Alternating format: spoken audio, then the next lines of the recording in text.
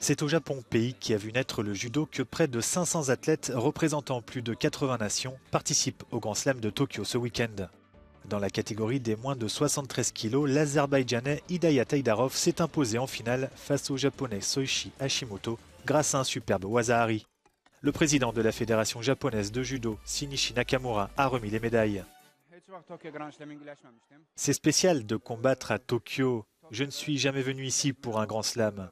Mais j'ai participé au championnat du monde de Tokyo et j'y ai gagné une médaille. S'imposer ici en finale face à un Japonais alors que j'ai déjà perdu contre lui plusieurs fois, c'est un sentiment très spécial. En moins de 57 kilos, la Canadienne Krista Deguchi a battu en finale la Brésilienne Jessica Lima en marquant hippon. Les médailles ont été distribuées par un autre Canadien, le directeur sportif de la Fédération internationale de judo, Michael Tamura. Quand j'étais petite, j'avais l'habitude de courir après les autographes. Alors maintenant que je suis de l'autre côté, je prends plaisir à aller au contact des enfants. Ils ont besoin de rêver et peut-être qu'à l'avenir, certains d'entre eux pourront combattre ici. Je serais heureuse que cela se produise. En plus de 78 kg, la Française Léa Fontaine s'est inclinée en finale contre la Japonaise Mao Arai et son brillant travail au sol. Jean-Luc Rouget, membre du comité exécutif de la FIJ, a remis les médailles.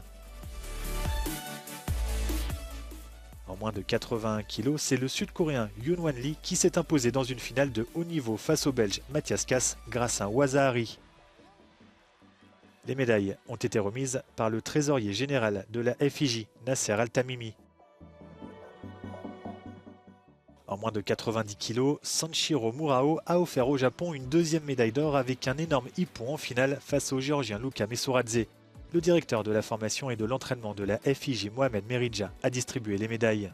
Enfin, en moins de 70 kg, la néerlandaise Sanne van Dijke a privé le Japon de l'or en s'imposant en finale face à Shio Tanaka. La secrétaire générale de la FIJ, Lisa Allan, a remis les médailles.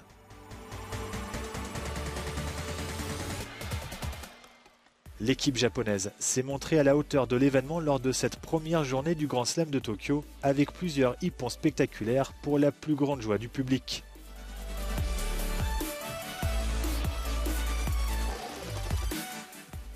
La légende du judo Ono Shohei est lui venu partager un moment avec ses fans. Suite et fin de la compétition ce dimanche.